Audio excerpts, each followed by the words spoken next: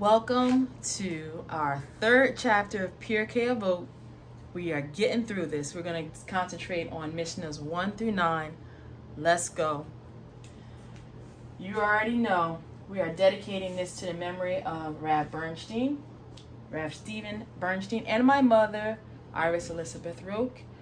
May their memories be for a blessing. And if you have someone you'd like to dedicate this study to, because that's what we do when we do studies, we dedicate in someone's memory or in someone's honor if they're still alive. Um, we just changed the ending a little bit, but go ahead and say the name of the one you want to dedicate this to. May their memories be for a blessing. Let's go. All right. So as you know, we are using the Pirkei Avot uh, Masechet from uh, Sefaria.org. And please, please, please donate to Sefaria if you got a few dollars give to them. They're providing a free platform um, where we can get all these resources. Most of the time, the stuff is in English. Um, give them some, give them some donation if you can. Uh, from the Sefaria.org Pirkei Avot, we're using the new Israeli commentary. Not so much anymore. We did more so in the beginning, but now we're really sticking to the Rav Bartenura. And every once in a while, we'll use the English um, I forget how it's called, the English commentary. You can't miss it when you start using the Sefaria.org. And of course, we can't forget our Sforno, Pirkei Avot with Sforno com- commentary written by Rabbi Raphael Pelcovitz. This is a lifesaver. Um, I want to say this book is about $20, 20 $20, $25 on ArtScroll. Um, it is a gem to have. It's made for uh, people that really don't have a lot of experience with the the uh, Talmud or the Mishnah, let's say the Mishnah. Uh, so it's kind of made for that. It's um, I would definitely recommend this. And some people want to have a book in your hand, like me. Okay. We are starting chapter 3, so you know what we're going to do. We're going to read All Israel has a share in the world to come, as it is said, and your people are righteous, they shall inherit the land forever. They are a branch of my planting, my handiwork in which to take pride. Okay, so let's start with Mishnah 3 1. Now, this name here, Ak- Akabia, Akabia, you will hear as Akiva. But in uh, Sephardi, Middle Eastern Hebrew, the bet stays a, stays a bet and it doesn't change to a vet. So they don't say Akiva, they say ak, ak, I can't even say it. Akabia. Akabia. Akiva. Akabia. Akivia. I don't know. But that's what that's why that but that is Akiva. Ben Mahalalel. Oh Lord. Akabia ben Mahalalel said, Mark well three things, and you will not come into the power of sin. Know from where you come and where you're going, and before whom you are destined to give an account and reckoning. From where do you come? From a putrid drop. Where are you going? To a place of dust, of worm and maggot, before whom you are destined to give an account and reckoning before the King of Kings and the Holy One, blessed be He. Now, this is not the first time we heard about these worms and maggots. We've already heard them in the first chapter, I believe. So we're kind of getting used to that plain talk that the sages give us. Okay, so let's see. Uh, the English the English explanation of Pirkei Avot, and that's what I was talking about for um, Sefaria.org, the English explanations. Uh, I'm not sure what, if that commentary is called the English explanations of Pirkei Avot or what, but um, and they're the ones that pointed out that his name is Akiva in, I guess, uh, other circles instead of Akiva, uh, what we said earlier. So they're introducing Akiva or Ak- Akabia ben Mahalalel that he lived in the time of Hillel. Ooh, try saying that fast. Akabia ben Mahalalel lived in Hillel. he lived in the time of Hillel before the destruction of the temple. We learned about the conflicts that this sage had with other sages in Eduyoth, uh, chapter 5, verses 6 through 7. So, um, there we go. Now, Sforno wants to jump in on this. Mark three things uh, mark well three things, and you will not come into the power of sin. He said, Consider, and you will not come into the grip of sin. Know whence you came and whither you go. It's proper that you contemplate the origin of your being and its culmination, be it regarding the physical aspect of man or the intellectual one. Now, behold, the physical part of man, both its beginning and its end, is loathsome and perishable. Therefore, it's not fitting to exert one's energies in its pursuit. The intellectual element, however, can be good or beneficial, or conversely, evil, according to man's endeavors in this realm, as it is judged by the Holy King. Therefore, one must make efforts to succeed in his attempts in the intellectual realm and use caution to avoid that which may prevent him from its attainment, so that he may be found meritorious, uh, excuse me, meritorious when judged from on high. As a result of this contemplation, you will not come into the grip of sin, for you will not pursue the gratification of your physical desires. Instead, you will attempt to succeed in refining and improving your intellectual abilities, which are permanent, so that you will you will merit to be found worthy on the day of your reckoning before the King of Kings. And um, let's see if I can pull. I'm reading a book right now, and I will. Well, I'm always reading. I'm reading several books at all times. Um, but this one, I'll be doing a review on it. It's called Foundation of Fear. It's a Musar. Musar is an ethical uh, work. Just like Pirkei it's about ethical character building.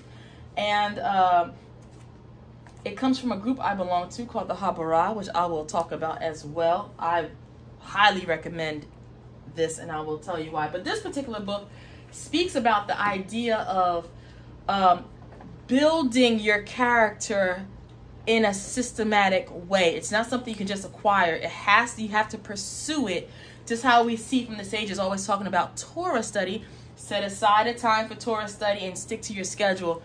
It's actually saying the same thing about reading things of Musar, um, things that will uh, share with you in uh, um, ethical um, pursuits, and then incorporate them into your life slowly but surely. So I'll be talking about that because that's huge. But that's what we're doing here with Pirkei Avot.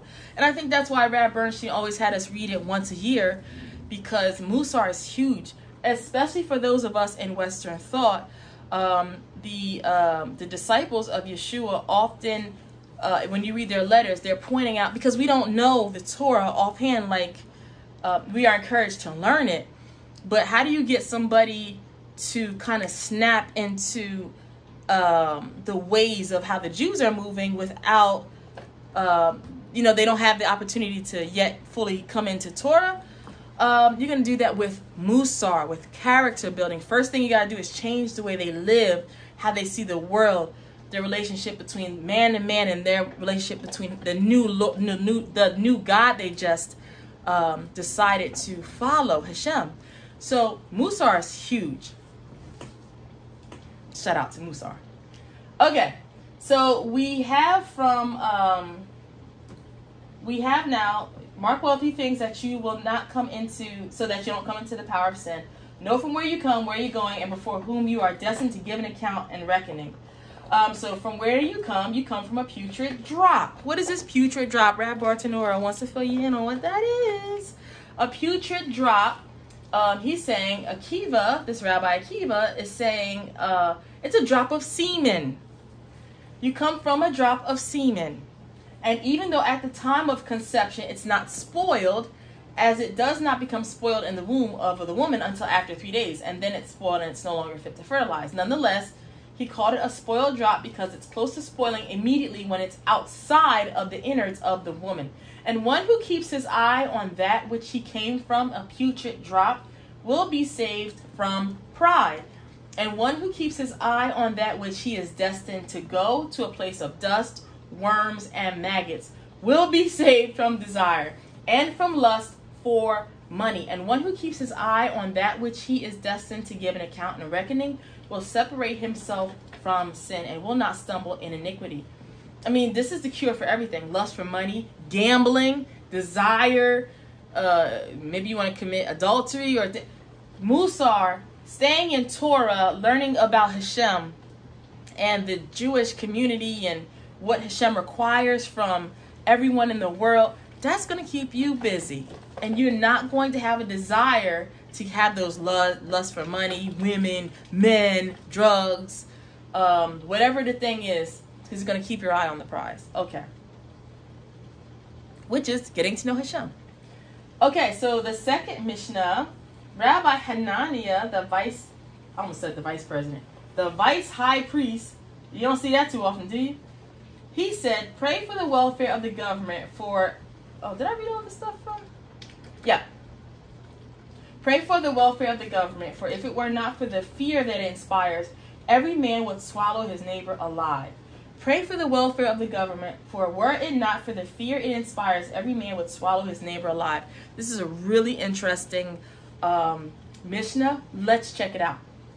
So, Rab, um, Rab Bartanura wants to talk about praying for the welfare of the government specifically. That means even that of the nations of the world. So, these ethics are really um, written for Jews for Jews, basically.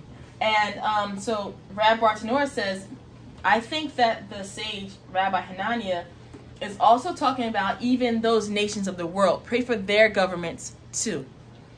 Um, and he wants to now comment on the part about swallowing his neighbor alive. As it is written in Habakkuk chapter 1 verse 14, and you make man like the fish of the sea, just like the fish of the sea, each one that is bigger than his fellow swallows his fellow, so that two people so so so two people, were it not for the fear of the government, each one who's bigger than his fellow would swallow the fellow. And you get, uh, you can drill down a little bit more into that in Avodah Zarah 4a in the Bavli. Sforno says, pray for the welfare of the government because if the people did not fear the government, although the king may at times be unworthy, as was often the case in the Second Temple era, to the extent that he may rob and plunder his subjects, Nonetheless, it's fitting to pray for his welfare, for then he will instill fear of his authority on them, and he will not consent that the people steal from one another. In that manner, he eliminates violence among the masses. He doesn't want the people to steal from each other. He wants to steal from the people. So why would he let somebody else get in on that? I mean, I'm not. I'm sure that's not what he meant. But, but anyway, so Rav Pelcovitz, who is the author of putting together the Sforno commentary, he always breaks stuff down so it's a little bit even easier to understand what the Sforno is saying. He says there are many scholars that believe in the Sforno's reference to kings in the Second Temple era is a euphemism. So he's saying when Sforno is saying the part where it says, um, at, although a king may at times be unworthy, as was often the case in the Second Temple era, Rav Pelcovitz is saying many scholars believe that the Sforno's reference to kings in the simple, Second Temple era is a euphemism for rulers who reigned in his day. And he remember he's like 1500s. Um, this this is uh, this is from first first century the the the Pirkei. However, since freedom of expression in the Middle Ages was not e- overly tolerated, he tactfully used the euphemistic phrase kings in the simple, Second Temple era. This instruction of Hanina, Hanina is in keeping with the Sforno's attitude regarding respect for authority, especially in the diaspora, which he espouses in his commentary on the Torah. For example, in Sforno's commentary on Exodus 22 27, he states, The evil which befalls the king in most cases caused great evil and harm to the community as well. And his commentary regarding Abimelech in Genesis 26:10 states, "When the leader is punished, great harm befalls those who find protection under his wing." So the Sforno echoes those sentiments here by asserting that any government, even an evil one, is preferable to an anarchy. And here in the U.S., we've not really experienced anarchy, but um, if you've ever seen the movie The Purge, that looks something like it. It just it's crazy. Lawlessness. Every man does what he thinks is right. It's crazy. Okay, um, we're going to read the second half of this Mishnah. It comes from Rav Hananiah ben Teradion, and he says, "If two sit together, there are and there if two people sit together and there's no words of Torah spoken between them, then this is a session of scorners, as it is said." Nor sat he at the table of the scornful. Rather, the teaching of the Lord is his delight. And you see that it's one of the first Psalms you see. Psalm 1, chapter, Psalm the first Psalm, cha- uh, verse one. I don't know why I want to say chapter. You see it right there talking about King David. But if two sit together and there are words of Torah spoken between them, then the Shekinah, the Shekinah, abides among them, as it is said.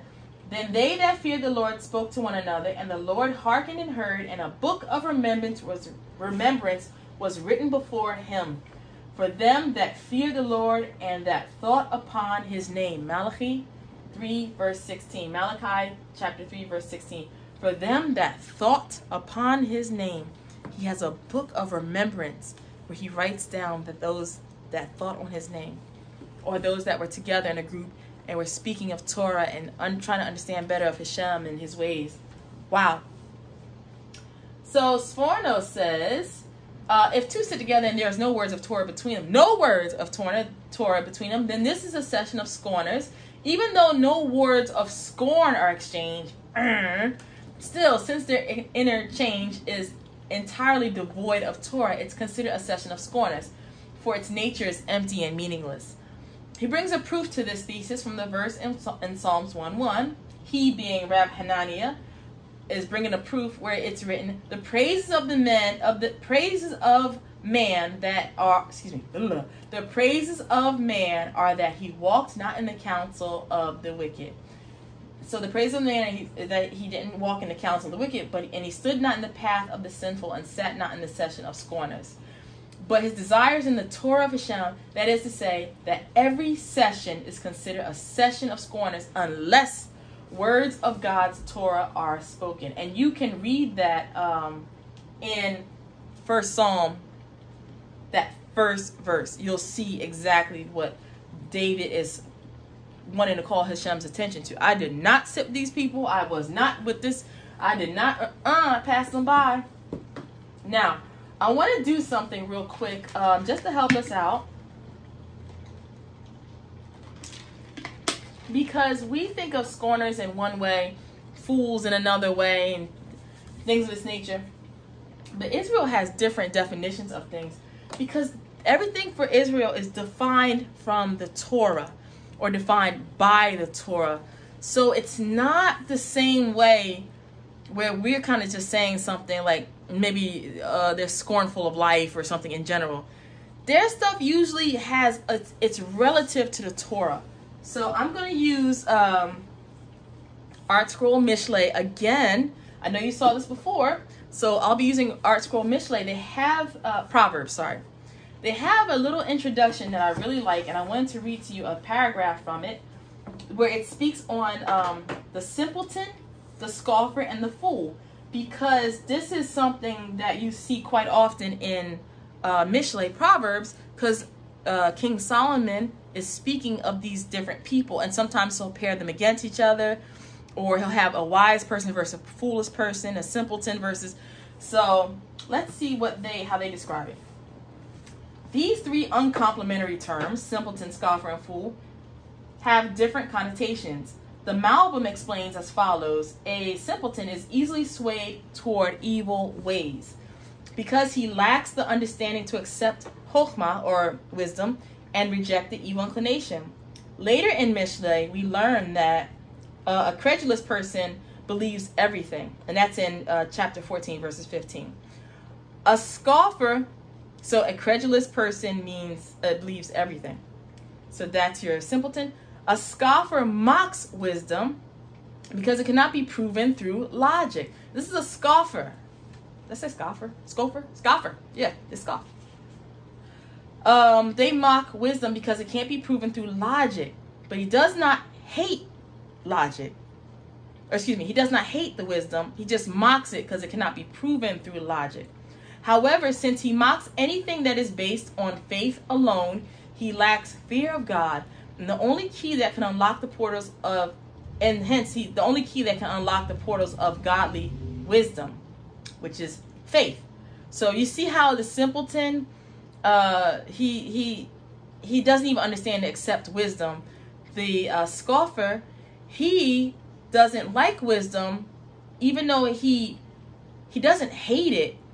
He just lacks a fear. Um, uh, he lacks a fear of God, and therefore he doesn't understand how wisdom works. So because he thinks everything should be logical.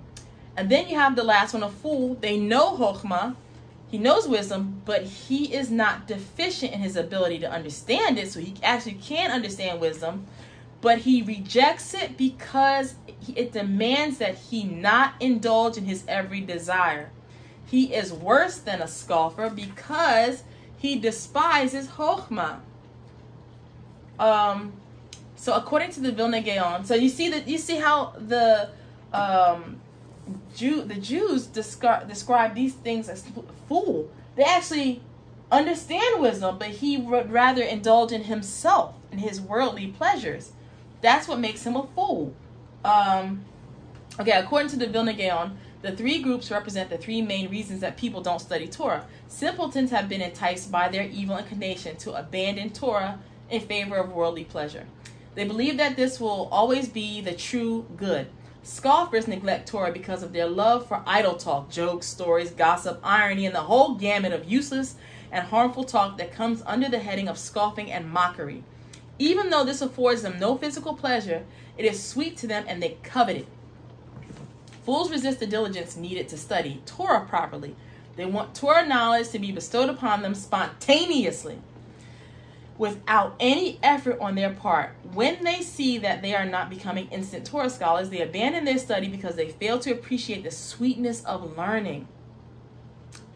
Okay, um, uh, Rabbeinu Yonah states that the mitzvah of giving reproof applies mainly regarding the simpleton and the youth but not to the scoffer or the fool because they are generally not generally not open to accepting such constructive criticism. So I just wanted you to see that a lot of times in Israel, things where we think they're they the word means this, it means something else, and it's usually related to it's always related to the Torah. I, I that's the best way I can say it. This is uh, ArtScroll. Uh, it's from the Ketuvim, the writings and um, this is Proverbs. And it's, uh, you can get each book of the, the Bible individually. Um, you can get the whole set, but this is, has wonderful commentary. So if you can, if you have the opportunity, check it out. Okay, so now that we have that out the way, okay, let's read this again. So, uh, because now we're going to go into the second part. We set we read about two that sit together, and there's no words of Torah that's spoken between them. Um, then this is a session of scorners, and it said, Nor sat he in the seat of the scornful, rather the teaching of the Lord is his delight in Psalm 1 1. But if two do sit together, and there are words of Torah spoken between them, then the abides among them, as it is said, Then they that fear the Lord spoke with one another, and the Lord hearkened and heard, and a book of remembrance was written before him and for them that feared the Lord and that thought upon his name. And Rab Bartanura wants to talk about then they that feared the Lord spoke with one another. He says, Behold, there are the, there are two here that this verse is speaking about. Two people. But Sforno says, But if the two sit together and words of Torah are between them, divine the divine presence is between them, Shekinah. Even though the main topic of their conversation is not Torah, nonetheless the divine presence is between them. Through this instruction regarding the extremes resulting from this disparate behaviors, these disparate behaviors, the Tanaim teach us that the importance and worth of such behavior in order to inspire the masses also to follow the right way. So Sforno is saying that a lot of times the uh, um, that you know like it's a session of scorners if you don't talk about the Torah. You have a conversation. You're talking about the light bill, and, and how you're going to pay for the light bill. And but there's no Torah in there. And Sforno was saying a lot of times the um, the rabbis, the sages used, you know, a little bit scare tactics to keep people in line so that they don't they stay on the right path. Though he sit alone and meditate in stillness, let's see. Uh, that's when he, let's see, thought upon his name. Um, it is a term used to uh, use related to the usage of kol demamah dakah, a still small voice, as a way of one who learn who learns alone is to learn while whispering. the next part, though he sit alone and meditate in stillness, um, and silent vayadom, it's a term related to the usage of oh, who one who learns alone is is to learn while whispering, and this is interesting part too because um, when you're in synagogue and you're saying the prayers, even this like it sounds like it's silent, but you're supposed to even like whisper a little bit. Um, because the power for the Jews that's in their voice when they come together. So that makes sense that even while you're learning alone, you should be like reading a little bit aloud, whispering when you're reading the passages. Yet he takes a reward unto himself. You get that from Lamentations chapter 3, verse 28 since he takes a reward for it as if the giving of the entire Torah was for his sake alone. Even if one person sits and occupies occupies himself um, in, with Torah, the Holy One blessed is he determines a reward for him. Uh, Hinsatana says, even if one person sits and occupies himself with Torah, for one person cannot converse on Torah. You can't have a conversation on Torah when you're by yourself. Rather, he must study it. That is, occupy himself with it. Still, he is rewarded, for the Tana proves that from that which is written in the verse previous to the one quoted in the Mishnah, it's good for a man that he bear the yoke of Torah, like he learns the um, Torah.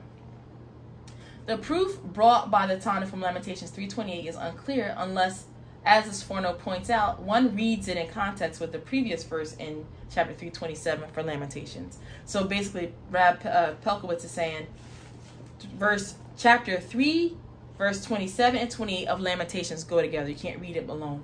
Only then does it become understandable. It teaches that if a person assumes that the yoke of Torah, uh, a, a person assumes the yoke of Torah and makes it the guiding force in his life, then even though he studies alone, he will be rewarded. So, um, don't think of the yoke as a burden. Think of the yoke that helps the um, animal move forward as they're going down that path. When you have the two yoked together they go down that path or it's yoked to something. When it's clearing the field it's not a burden. It's a help. So that's another thing like for us in western thought you hear yoke and you think it's it sounds awful but it's not it's not the same connotation um that's the best way i can say okay mishnah 3 of uh, chapter 3. So Rabbi Shimon said, If three have eaten at one table and have not spoken three words of Torah, it's as if they had eaten sacrifices offered to the dead. As it is said, For all the tables are full of filthy vomit when the all present is absent. You get that from Isaiah 28, verse 8.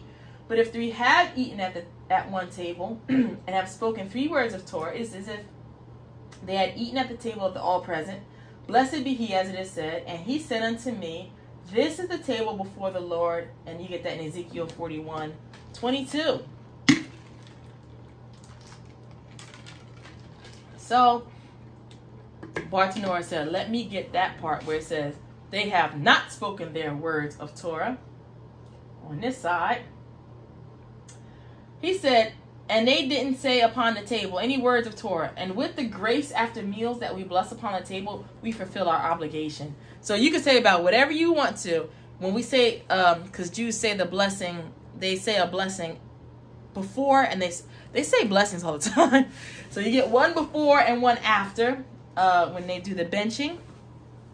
So when you because you're saying the blessing, it's it's considered as if you said words of Torah upon Torah upon the table, so so I've heard. That's what Bartanora says.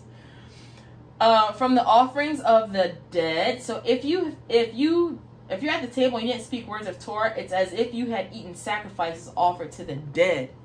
So Rabbi Bartanora says this means the sacrifices of idol worship, as it is written in Psalm 106, verse 28. And they became attached to Baal Peor, and they ate from the offerings of the dead. Okay, so for all tables are full of filthy vomit when the all present is absent. So his says, Rab Bartanora says, full of vomit and feces. And idol worship is called feces, as is stated in Isaiah chapter 30, verse 22. Feces shall you say to him. Excuse me. And we learned in the Torah Parsha with uh, Balak, Balak that when um, Balaam taught, uh, told the Moabite women he told Balaam to tell his Moabite, Moabite women to go down down there and uh, you know entice the Israelite men. And they brought with them their gods, and you can see from the sages it was saying they, they actually had the, the guys bowing down to their gods. And the way you worship this particular god was you took a dump in front of the god, and that's how that worked. Okay, um, so this idea of feces and idol worship is not anything new. Please go to about uh, Torah Parsha Balak and Bamidbar and Numbers. Um, I can't remember the chapter right now, and you will see it from the sages when when on the part where the women start mingling with the the Israeli men, Israelite men. Okay, Bartanor, Rabbi Bartanor wants to talk about uh, when the omnipresent is absent or the all present is absent it means because they did not mention the name of the omnipresent, may he be blessed upon the table. So the English explanation of this is Rabbi Shimon's first statement is based on a pun on the verse in Isaiah. The literal, trans, literal translation of the verse, according to the uh, the JPS Bible, is Yea, all the tables are covered with vomit and filth, so that no space is left. The word so that no space is left can also be interpreted to mean when the all present is absent. For the word for all present and space are one and the same. It's the word makom. Sacrifices to the dead are how Rabbi Shimon interprets the word filthy vomit. The reason that he assumes that this is three is that a communal meal must have three people. This is also the minimum number that must be gathered in order to do a communal grace after meals, the Birkat Hamazon. Okay, now uh, but if three have eaten at one table and have spoken their words of Torah, is if they had eaten at the table of the all present. Blessed be he, as it is said. In Ezekiel 41 22, he said unto me, This is a table before the Lord. As it is said in Ezekiel 41 22, and he said to me, This is the table that is before the Lord. Immediately when he speaks words of Torah, it is called a table that is before the Lord, a shulchan. Um, and some say that it comes out from the beginning of the verse as is written. The altar is three amot. Do not read it as amot, but emot, mothers or foundations, like ima, uh, emot, sorry. As in, there is foundation or priority to how a verse is written. Three corresponds to Torah, prophets, and writings. And some say to scripture, mish, to, some say scripture, Mishnah, and Talmud, meaning that a person must speak about them over the table and then it is called a table that is before the Lord. So explains Rashi. So the Sforno talks about this uh, entire Mishnah, and he says food prepared and consumed exclusively exclusively to sustain physical life, which is transitory and perishable, is called offerings to the dead idols. Now it is proper to consider the difference between such a table of purpose as is as mentioned above and the table of the Holy One. Blessed is he, blessed is he that is his table is the altar, which is the table on high from which the priests eat. For their food consumption is marked by sanctity, and the goal is to reach eternal perfection and completeness. Compared to this table, uh, compare this table, this the table serving, and the purpose of physical pleasure alone. It's it's called the physical pleasure is called full of vomit and filth, as the prophet states in Isaiah 28 verses 7 to 8. And though strong drinks um, and though strong drink, the priest and the prophet are, uh, excuse me, and through strong drink, the priest and prophet are confused. All the table is full of vomit and filth. Meaning that when the table, and you have to read Isaiah chapter 28, verses 7 to 8 to understand what this Mishnah is saying.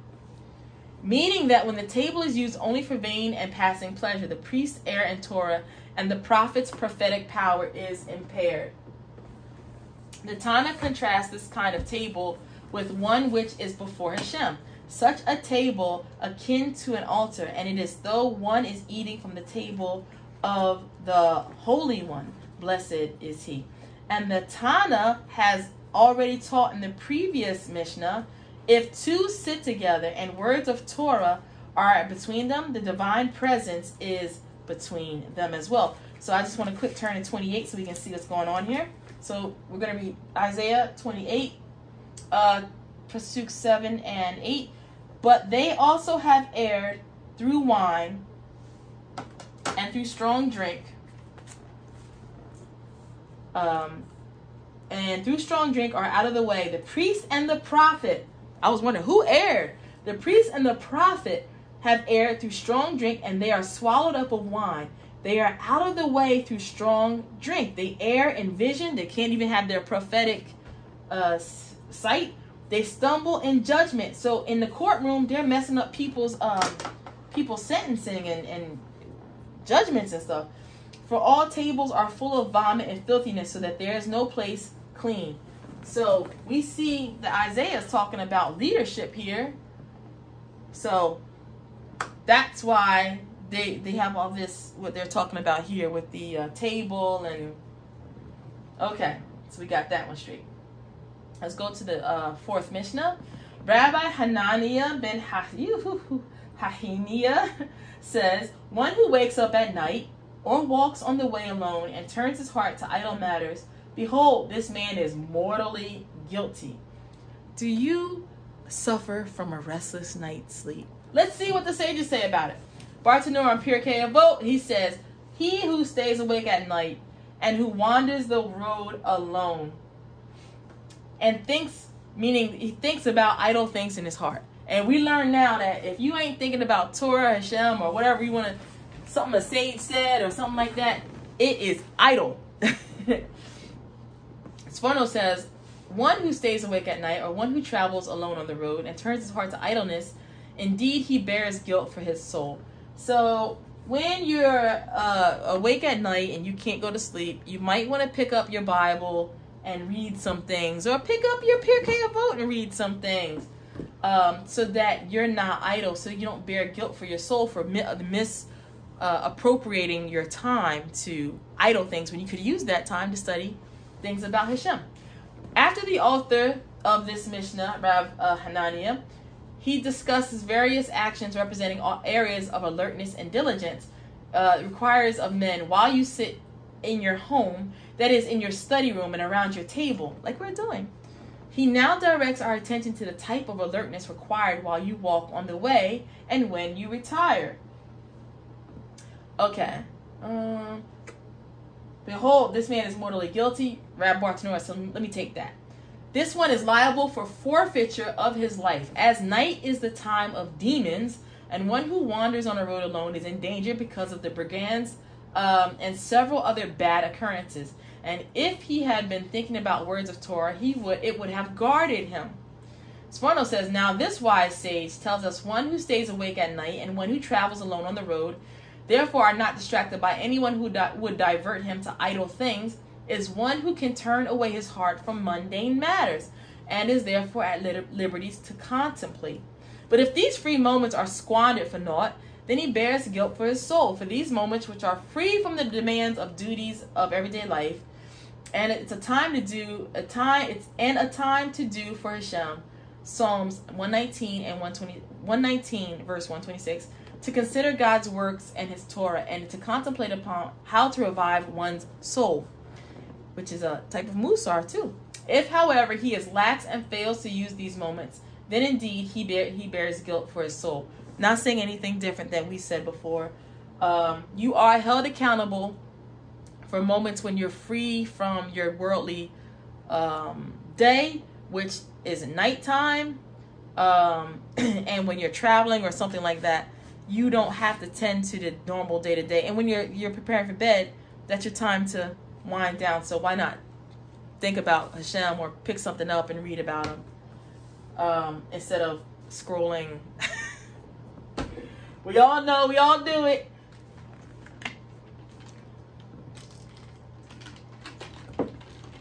Mishnah 5. Mm, good ice. Okay. Rabbi Nehemiah, Rabbi Hananiah ben Hananiah says, Whoever takes upon himself the yoke of Torah, they remove from him the yoke of the government and the yoke of worldly concerns. And whoever breaks off from himself the yoke of Torah, they place upon him the yoke of government and the yoke of worldly concerns. So if you take on the yoke of Torah, to that takes you down the path, then your worldly concerns, the government, all those things will be taken care of because you're putting emphasis on the things that matter. However, on the converse, whoever breaks himself off from the Torah, now what will get placed on him are the worries of the government and other uh, your other worldly concerns. So Rav Bartanora says the yoke of government means the burden placed upon him by the king and ministers. Taxes, I don't know, whatever. Um, also, he wanted to speak on the way of the world. Let me see. And the worldly concerns. The derech eretz, meaning the toil and strain of a livelihood. He's released from this because his work becomes blessed when when he focuses on the Torah. Um, how Hashem does that, it is possible. It is possible. I've seen some things in my own life when you change your focus uh, to focus more on Hashem and the things of Hashem and His Word and change your life around, you will see change. It will make your load of life easier. Bartanora says, the, and one who casts from himself the yoke of Torah, it means one who says the yoke of Torah is too hard and I can't endure it. So we're talking about this gentleman here. The yoke of worldly responsibilities and securing protection. Um, oh, sorry. So he says, uh, oh yeah, he says the yoke of Torah is too hard. I can't even endure it. But Sforno says, but if someone throws off the um, the yoke of Torah uh, for himself, the yoke of the government and the yoke of worldly responsibilities are placed on him. So you're gonna bear somebody's yoke. It's just which one do you prefer? The yoke of worldly responsibilities, Sforno says, and securing protection from life's vicissitudes. It te- it teaches us. Rav Hanania is teaching us. Oops that when one who has accepted the yoke of Torah casts it off, that is, one who studied and left, he will be burdened with the yoke of government, as it says, because you did not serve Hashem, who will serve your enemies. Deuteronomy chapter 28, verses 47 through 48. And the yoke of worldly responsibilities will also be his, as it says, in hunger and in thirst and in nakedness. Mm. That's Deuteronomy chapter 28, 48. Okay. Mishnah 6. Let's read that. That's Rabbi Halafta uh, of Kefer Hanania said, When ten sit together and occupy themselves with Torah, the Shekhinah abides among them, as it is said, God stands in the congregation of God. How do we know that the, that's Psalms, uh, oops, 8, 82, verse 1? How do we know that the same is true even of 5? As it is said, the band of his he has established on earth. Amos chapter 9, verse 6. How do we know that the same is true even of 3? As it said, in the midst of the judges, he judges. Psalm 82, verse 1. How do we know that the same is true even of 2? Does this sound like Abraham uh, bargaining for Lot? As it is said, when they that fear the Lord spoke with one another, and how the Lord hearkened and heard. Malachi 3, 6. How do we know the same is true even of 1? As it is said, in every place where I cause my name to be mentioned, I will come unto you and bless you. Ten who are sitting in judgment, Bartanora says, it's a textual variant we follow.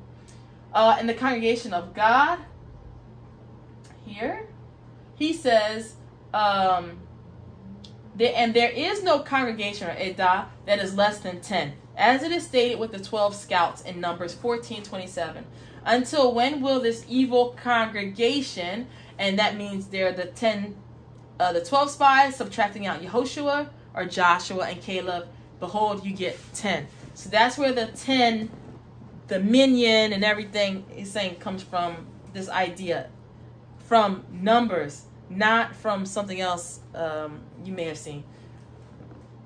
I think uh, some people will quote Zechariah, but this is the this is where you get the 10. Um, Bartanora uh, is also commenting on and from where is there proof that it is true even when there are only five? Um, as it is said in Psalms 82 1, in the midst of judges, he judges. Three judges, in the midst of judges, he judges. Three judges and two litigants. That's how you get five. So, again, this might not be how our court works. This is how the court, that's the Beis Din, the Beit Din in Israel. They got to have three and you always got a complainer and a defendant, right? A plaintiff and a defendant, so, and always three judges.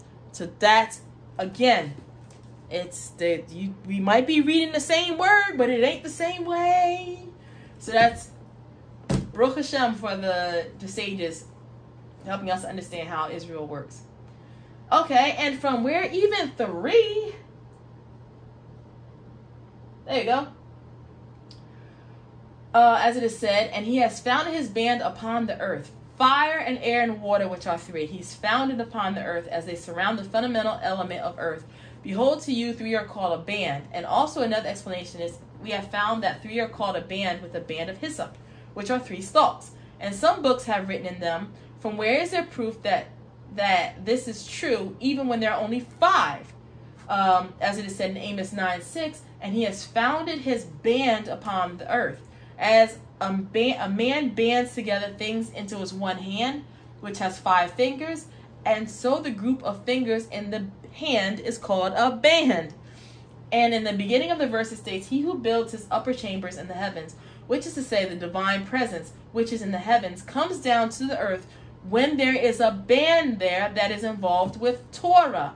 And the continuation of this textual variant is from even where three, as it is said in Psalms 82, verse 1, in the midst of the judges, he judges. So just even in the judges, boom, he's there. Okay, since he takes, let's see.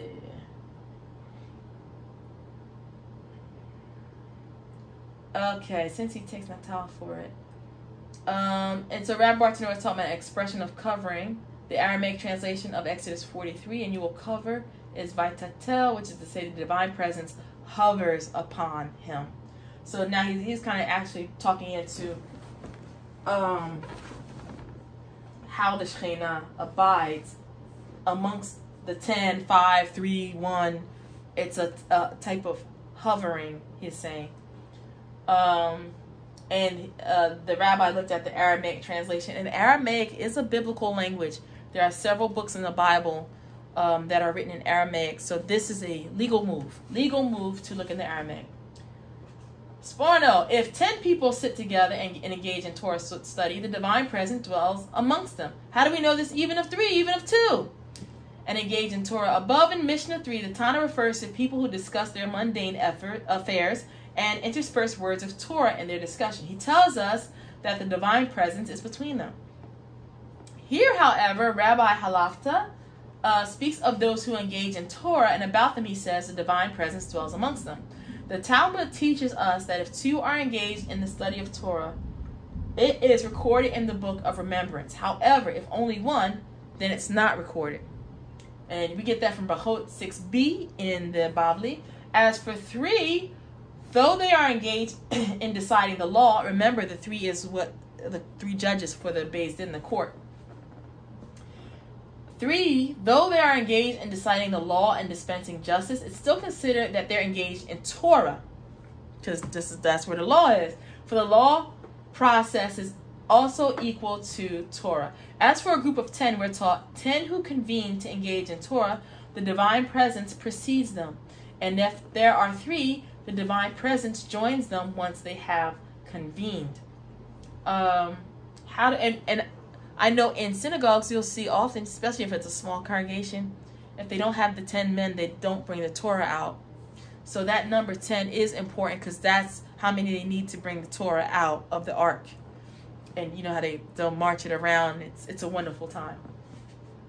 But if you got a small congregation, okay, how do we know this even of five? The number five mentioned here is in the Mishnah is not cited in the Talmud as a distinct unit. However, it may be that Rabbi Halafta equated them with 10. If their gathering from the outset was for the purpose of engaging, engaging Torah, that is why they are designated as a bundle. So Rav Pelcovitz wants to speak a little bit more on that. He says the Tiferet Yisrael commentary on this particular Mishnah suggests that the number five is included by the Tana, the Tanaim, because five judges sit on the court, which makes the measurement from the murder victim to the closest city to determine who is obligated to bring the axed calf. What is that talking about? The blood guilt of an accident, um, of a of a uh, un, um, not undisclosed, but a unsolved mystery murder. You'll get that in Deuteronomy 21. I believe that's what they're referring to.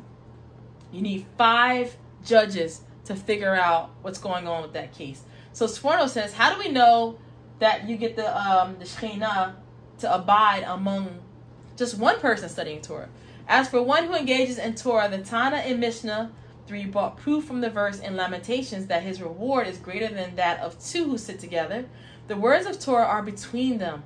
The Tana of our Mishnah adds that the divine presence is with him when he is occupied with Torah, as it is written, I will come to you. Exodus 20, verse 21.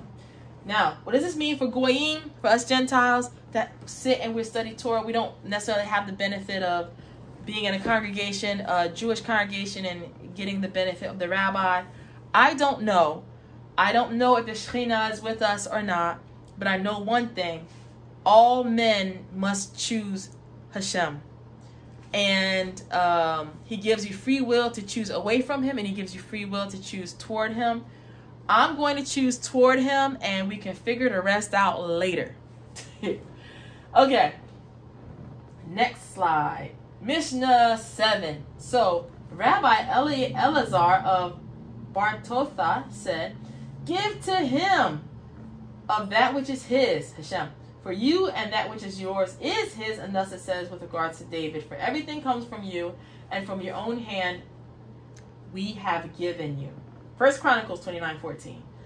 Um, and then also, uh, Rabbi Yaakov, Jacob said, if one is studying while working on the road and interrupts his study and says, How fine is this tree? Or how fine is this newly plowed field? Scripture accounts it to him as if he were mortally guilty. They said, No, thank you. All right, let's see what this means. So let's focus on the one that give to him what is his. Rabbi Bartanora says, Do not prevent yourself from being involved in matters of heaven, whether your body or whether with your money, as you are not giving from yours, not from your body, and not from your money, as you and your money are Hashem's. And as far as walking down the street and you're thinking about Torah and you see a pretty tree or a pretty field and you comment on and break your concentration, Rabbi Bartanora says, This is true of all idle talk, but it is speaking according to what is common, as if as it is the way of wayfarers to speak about what they see with their eyes.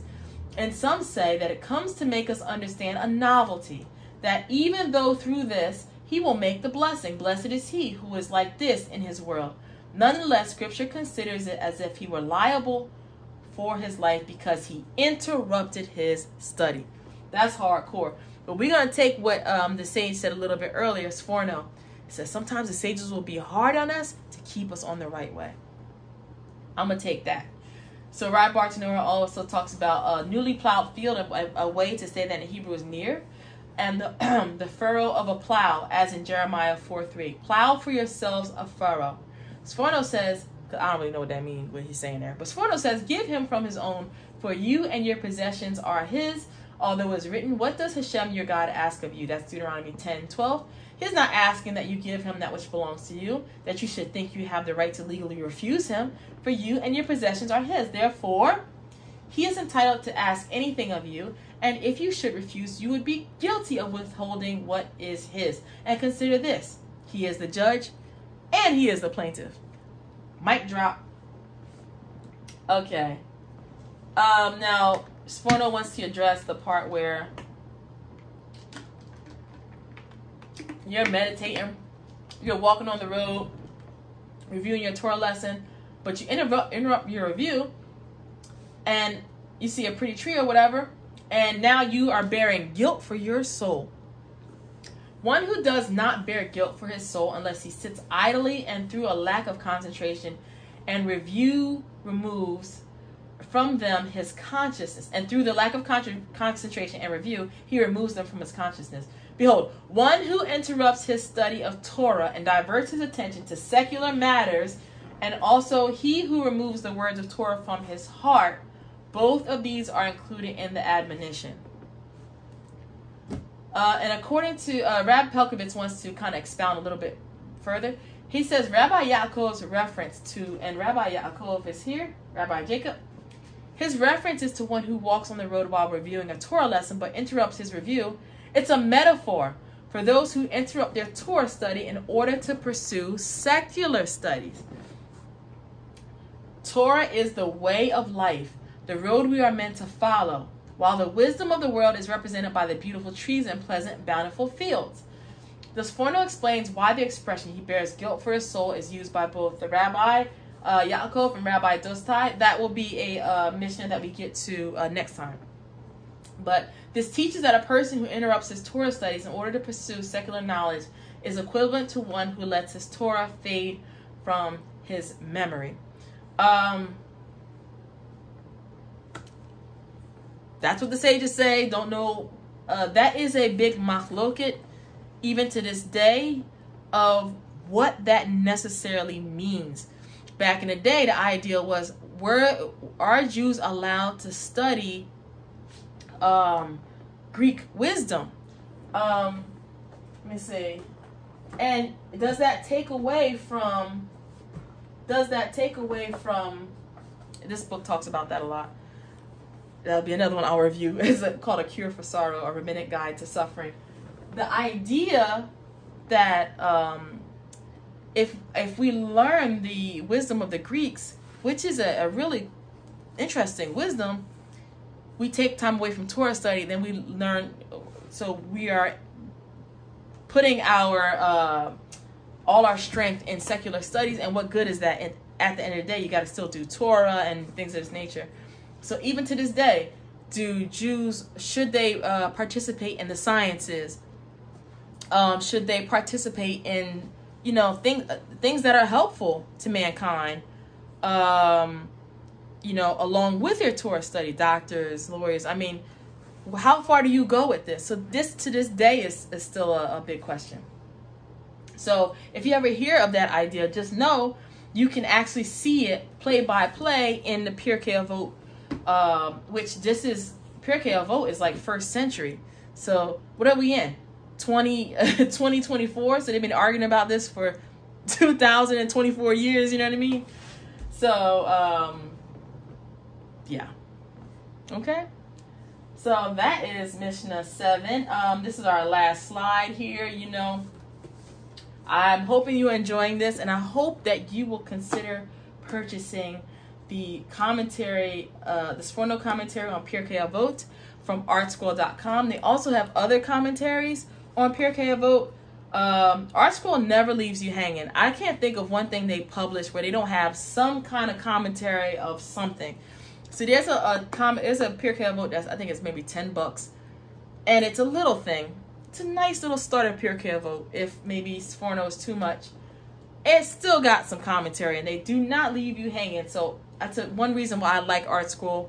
You're always going to have somebody saying something to help you out. You're always going to have a rabbi on deck um, to help us because we don't think the way Israel is taught to think.